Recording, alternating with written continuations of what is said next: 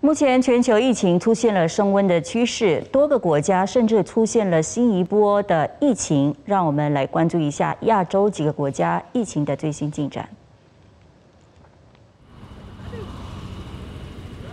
截至十四日中午十二点，马来西亚在过去二十四小时新增确诊病例一万一千六百一十八，连续两天超过一万例。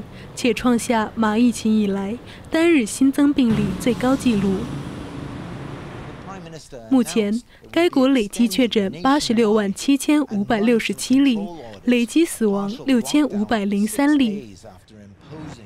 在马来西亚于六月二十八日宣布全面封锁无限期延长后，除必要服务部门外，暂停经济和社会活动。截至十二日。马来西亚全国约八百一十万人至少接种了一剂疫苗，约三百六十八万人完成两剂接种，占总人口的百分之十一点三。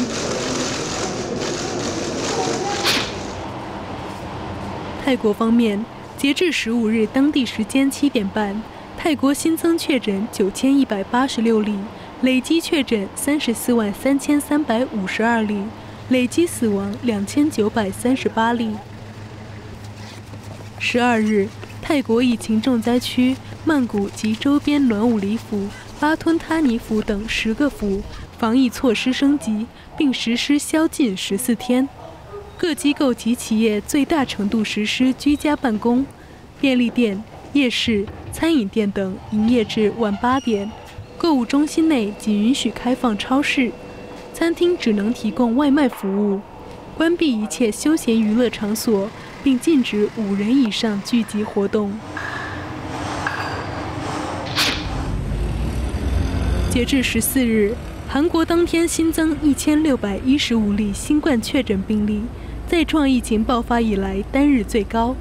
十五日起，全国大部分地区防疫响应级别一级至二级，首都圈升级为四级，包括禁止八人以上聚会，六时后禁止三人以上聚会。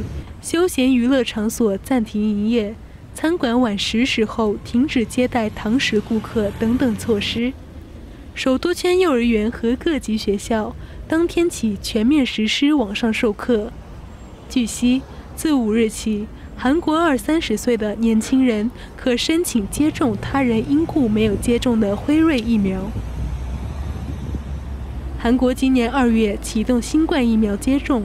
目前全国仅有约一千五百六十万人接种至少一剂疫苗，约占总人口的百分之三十点六。美都新闻整理报道。